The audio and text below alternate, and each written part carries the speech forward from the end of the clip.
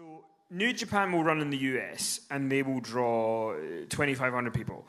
ROH will draw 2,000 people, maybe 5,000 WrestleMania weekend. And you guys do All In and you draw 10,000. So we'll talk about All In in a second. 11,236.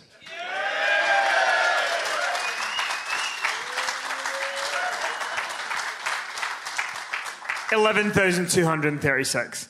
Um, but like, there must come a point where you guys are going, okay, so we're out there every day, and we're we're we're Bullet Club for life. Not to steal another gimmick that was there before, but like, you guys are there the whole time. Like, you guys are living it the whole time. And when people think of Bullet Club, they just think of you, the Bucks, Marty Scurll, Hangman Page. Like, eh, there's an elite group that they think of. Elite, not meaning to be pandering.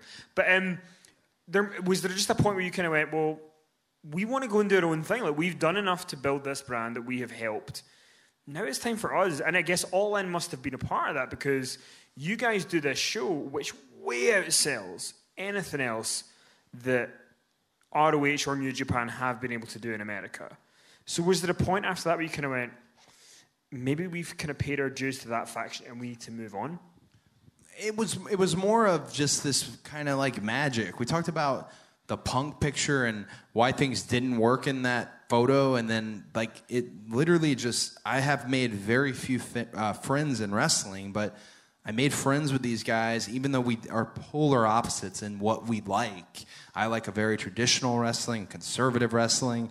Nick Jackson wants to set himself on fire, and you know, it's it. But it, the the common thing is is is pleasing that pleasing the audience, and they're they're so good with the, the people who support them, and they they make fans friends, they make fans family, and and that was shared amongst everybody in that five or six, and it just it was it was the moment I forget who said it. We were in Ryogoku, and the moment said, "Hey, we're just going to be just elite, and we're going to announce it on the Jericho Cruise."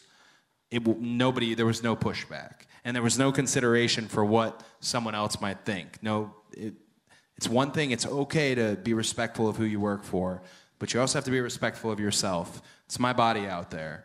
I I'm the one taking the bumps and I'm the one delivering the performance. You can tell me if you didn't like the performance, but they're going to tell me if they liked the performance. And it was one of those moments to kind of take control, and we, we haven't received any pushback. You mentioned people think of like an elite group. There's this very funny moment on the Jericho cruise that I still don't know what to do about. We announced that we're the elite and we do the podcast, and there's a whole deck of fans, and it was nice. And we stand up, and there was a fan behind us, and he just goes, Hey, Hey, so is Chase Owens Bullet Club or Elite?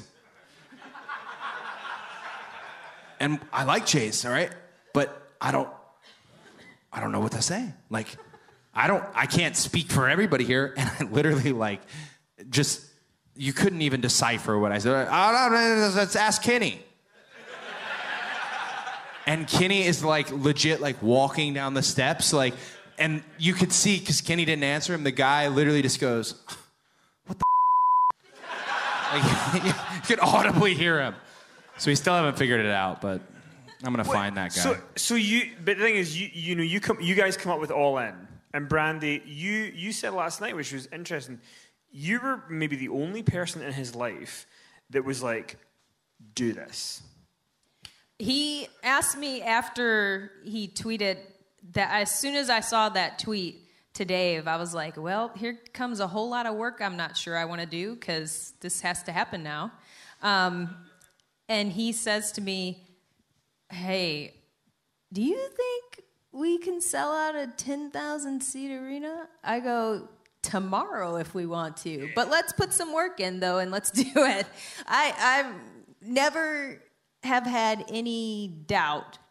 And I think this is because he's got so much of his dad's brain in his head that no matter how far fetched something seems, or how backwards it might be, or how much it may not compute in my mind, I know that he's got the whole story thought out from start to finish and the passion behind it to make it great.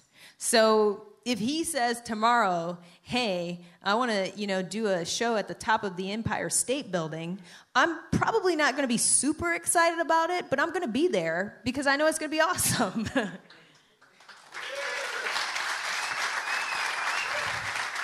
And um, so, I mean, I guess f- this for for you, you know, you, you guys do all in, and it it sells out immediately, pretty much. Another Um, thing that I called while everybody else was nervous, I said the site's gonna crash. Uh, I told my best friend who randomly, like five minutes before, said, Hey, I, I wanna get tickets to this. What do I do? I said, Get on as many computers as you can because it's gonna crash. and she got tickets within the last five minutes, but she was like, there five minutes early, had her husband on one and her mother, I think, on another one, and all just trying to get tickets. I knew it. Poor Hangman never got a ticket. He was in that virtual waiting room. I never did either. I was in it too. And he was just, I don't know, Cody, I don't know. Ah, and then like 30 minute later ride, like, hey, did you get anything? Says virtual waiting room. Like, you didn't get it, bud. It's, it's, it's okay. We, we weren't even buying it. We were just testing it out to see if it worked. Yeah, man. Hangman never got his ticket.